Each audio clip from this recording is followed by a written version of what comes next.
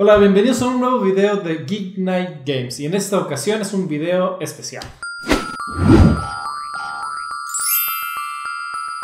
Bueno, eh, quizá un poquito por la decoración y el sombrero ya se pueden dar cuenta de más o menos cuál va a ser la temática en esta ocasión. Eh, normalmente en los top 5 discutimos, Aldo dice su top 5, yo digo el mío, intentamos llegar a un acuerdo. Eh, en esta ocasión simplemente cada quien va a decir sus 5 juegos. Sí, así es. Estos son los juegos que recomendamos para regalar en estas fiestas decembrinas, ¿no? Nuestra guía de regalos.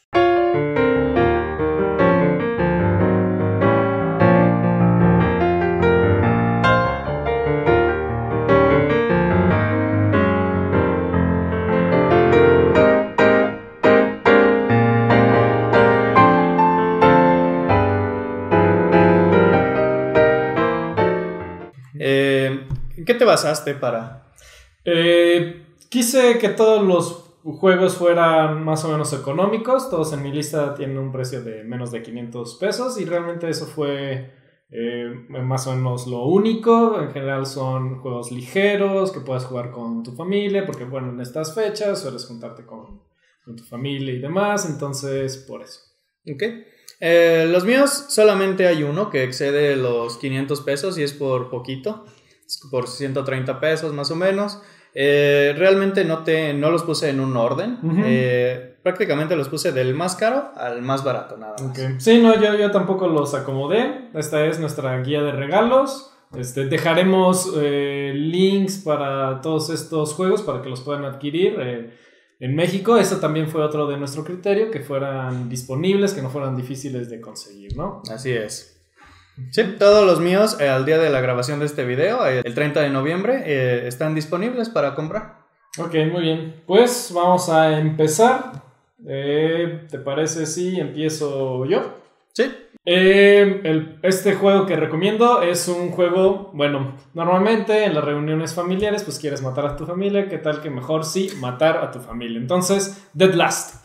Eh, ya hemos hablado un poco de este juego. En este juego tienes que seleccionar a quienes, a quienes quieres matar, pero si la persona descubre que te, que lo están tratando de matar, entonces ella, al contrario, va a matar a otra persona.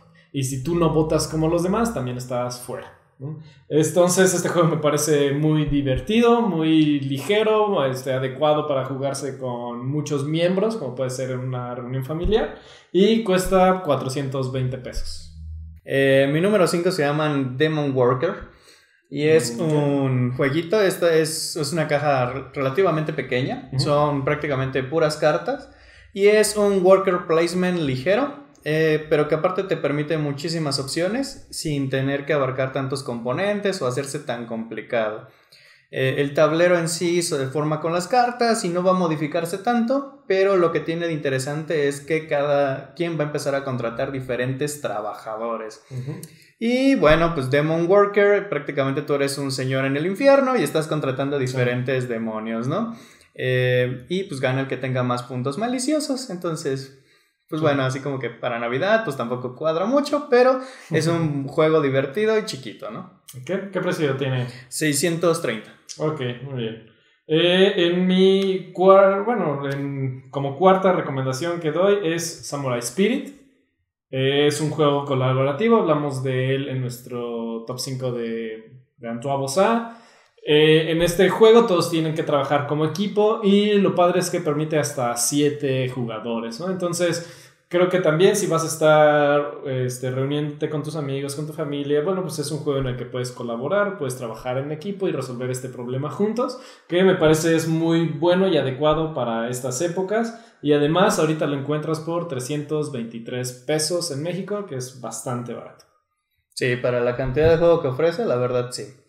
eh, el mío, el número 4, bueno, es de repente tienes a los niños ahí, no sabes cómo involucrarlos y creo que ahorita pues están en moda los superhéroes y todo y creo que eh, eso los llama y los involucra, ¿no? es, es Hail Hydra.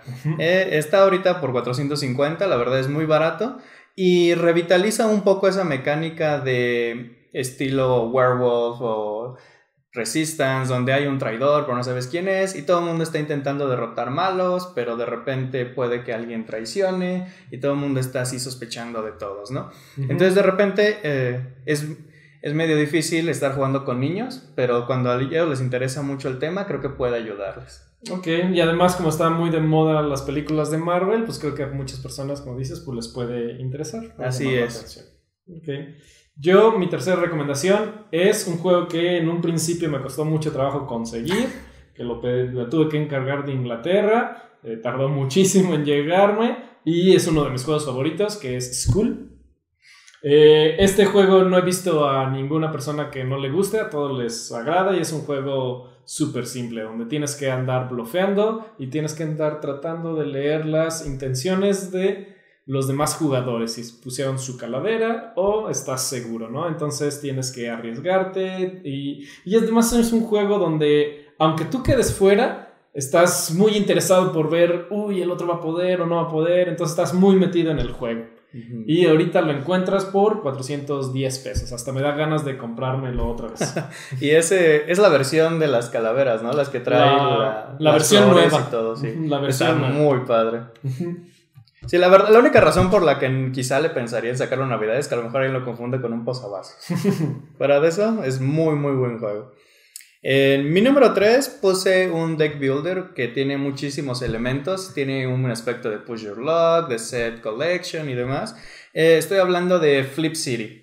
Flip City es un jueguito eh, muy rápido en el cual estás construyendo tu ciudad, vas evolucionando tus cartas y al mismo tiempo eh, te permite eh, tener ese aspecto de quiero pues, seguir presionando mi, suerte, quiero seguir jalando cartas porque estás intentando juntar felicidad, pero si de repente sale carita triste, por ahí ya se, desarmó todo el show. Entonces es muy ligero y eh, creo que permite cierto grado de estrategia, ¿no? Sí, sí, muy bien, muy bien. ¿Y qué precio tiene?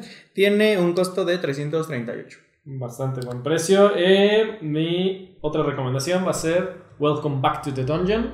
¿El Welcome Back o el Welcome Back? Ok porque además está más barato que el ¿Ah, Welcome to the Dungeon, así es. Entonces, bueno, si ya jugaste School y te gustó School, Welcome Back eh, incluye todavía más variabilidad en el juego, tiene, es un poquito más complicada y los jugadores están retándose para ver quién va a entrar al calabozo y ver si puedes sobrevivir al calabozo. Si sobrevives dos veces, ganas el juego. Es un juego bastante sencillo pero agrega mucha más variedad al, tener diferentes personajes y los monstruos especiales que también le agrega incertidumbre que lo hace también muy divertido y además cuesta menos de 300 pesos. Y los héroes se sienten muy diferentes uno con otro, a diferencia de la versión original donde de repente hay cositas que se repiten. Sí, sí, eh, eso puede ser un poquito, lo puede ser un poquito más complicado que el original, que Welcome to the Dungeon, porque ya las habilidades como que son más especializadas, pero una vez que le agarras, eh, ya no lo sueltas. Así es.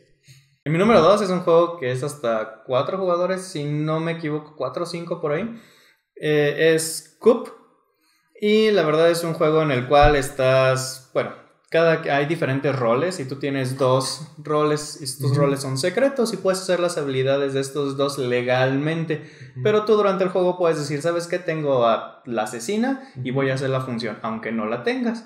Pero los demás te pueden decir, no, ¿sabes qué? Estás mintiendo, no la tienes. Y si te atrapan en la mentira, híjole, pues quedas fuera, ¿no? Entonces también es estar ahí tentando la suerte, mintiendo, viendo si te creen, no te creen y jugando con ese aspecto, ¿no? Y ya si les gusta, pues también pueden comprar la expansión que permite hasta 8 o 10 jugadores, no me acuerdo bien, y permite la parte de equipos que lo hace muy interesante. Sí, sí, sí, sí, un juego muy sencillo. ¿Qué precio tiene? 320. 320, bastante buen precio. Mi última recomendación es mi juego favorito de todos los tiempos, no es raro, The Grizzled. Y nuevamente, eh, tratando de fomentar esta parte del trabajo en equipo, con tus amigos, con tu familia. Eh, qué mejor que ayudarse a sobrevivir la guerra, ¿no? Entonces creo que este juego tiene un mensaje muy positivo, donde cada quien eh, trata de, trabajar este, junto con los demás, pero sin poder comunicar lo que cada quien tiene, ¿no? Entonces tienes que saber leer a las personas, ver, ver cuándo jugar tus cartas, porque si se repiten tres veces el mismo símbolo, estás muerto, ¿no? Y todos van a morir. Entonces es un juego sumamente difícil, pero que aunque pierdas, eh, quedas con un buen sabor de boca. Sí, la verdad es un muy buen juego. Eh, pero sí, a lo mejor la parte de la dificultad, ya en igual si ya, ya viste el brindis de Navidad y toda la cosa, pues como que se va a complicar un poquito más. Sí, y... Un juegazo. Sí. Y mi número uno, la verdad lo había considerado, pero no había entrado a mi primer top 5. Pero después empecé a checar precios y me sorprendió al precio al que está ahorita. Y creo que es una muy, muy, muy buena inversión. Estoy hablando de Star Realms. Está a 210 pesos ahorita nada más. Ok, muy bien. Eh, nada más que es la versión en español, la de Devir. Está bastante bien. Eh, Star Realms es un juego de uno contra uno en el cual vas armando tu deck eh, con naves espaciales, con bases espaciales y estás atacando al otro, ¿no? Entonces es muy divertido porque de repente empiezas a hacer cada combo con las diferentes facciones y además es, es baratito y se puede expandir a 4, 6, 8 jugadores siempre y cuando compres más juegos. Entonces esa es mi recomendación porque la verdad se me hace un muy buen juego y por un precio muy muy barato. Fue lo que me sorprendió. Eh, incluye todo lo, lo, padre de los constructores de mazo eh, en una sola cajita, ¿no? Que lo hace bastante conveniente. Así es. Pues esta es nuestra guía de regalos 2018 de Geek Night Games. Comenten qué juegos de aquí han regalado, les gustaría recibir o planean regalar y qué tal les funcionó. Eh, tratamos de que sean jueguitos eh, accesibles, baratos y que al mismo tiempo brinden mucha diversión y aparte tengan pues nuestro sello de aprobación, ¿no? Así es, todos estos juegos efectivamente tienen el sello de aprobación de Geek Night Games. Y pues Feliz Navidad, feliz Hanukkah, feliz Kwanzaa. Portense bien. Saturnalia, todo. Y no olviden dejarle su cartita a Santa Claus. Nos estamos viendo y felices fiestas. Hasta luego.